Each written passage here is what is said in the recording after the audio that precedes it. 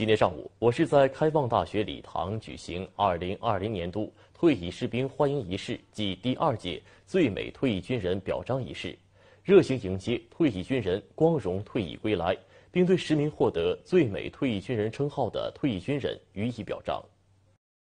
活动在庄严的国歌声中正式开始，全体退役士兵慷慨激昂地宣誓，表示要永葆军人本色，发扬奋斗精神。为家乡建设发展贡献力量。随后，会上宣布了台山市第二届最美退役军人获奖名单：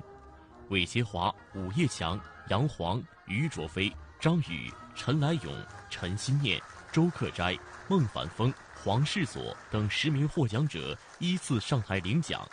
此次表彰的最美退役军人有抗疫先锋、人民公仆、创业代表，还有抗美援朝老兵。他们用实际行动体现着离军不离党、退役不褪色的军人品质，展现了退役军人永葆本色、勇于奋斗的时代风采，是我市广大退役军人当中的典型代表。在高中毕业之后，我有参军，是参军光解放军很光荣，是吧？希望他们有努力努力工作了，好好好好干下去了。我脱下了军装，换上了警服。变的是身份，但职责和使命并没有变。我将把军队的优良作风带到警队，继续全心全意为人民服务。活动还为全市各镇街退役军人、党员志愿服务队收旗。同时，2020年退役士兵适应性培训正式开班，